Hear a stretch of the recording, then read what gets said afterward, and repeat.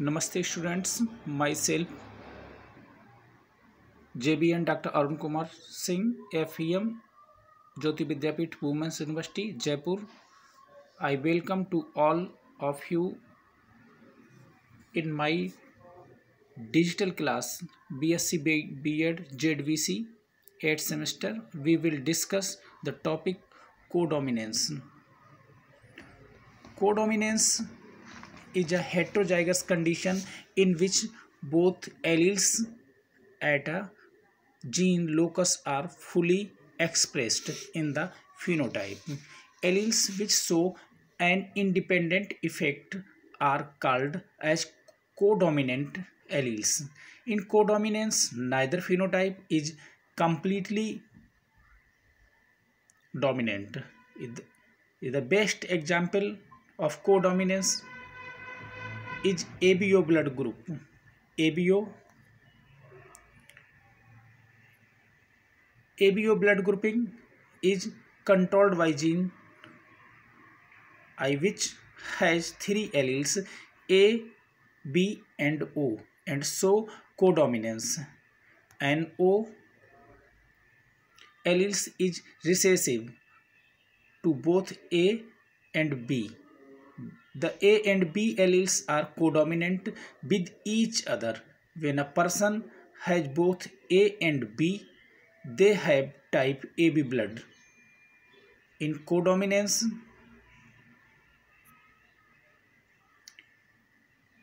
it is it does not matter whether the alleles in the homozygous chromosomes as dominant are recessive. If the homozygous chromosomes consist of two alleles that can produce proteins, then both will be produced and forms a different phenotype are characteristics so that of a homozygote.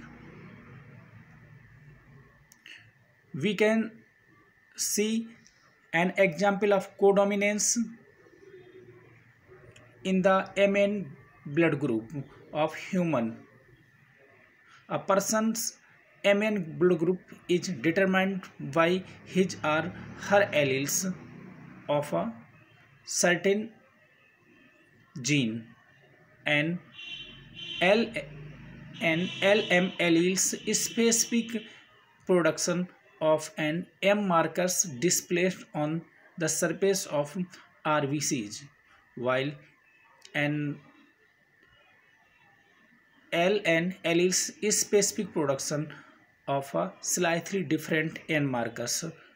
Homozygote have only M or N marker respective respectively on the surface of their RBCs. However, heterozygotes have both type of marker in equal number on the cell surface. Thank you.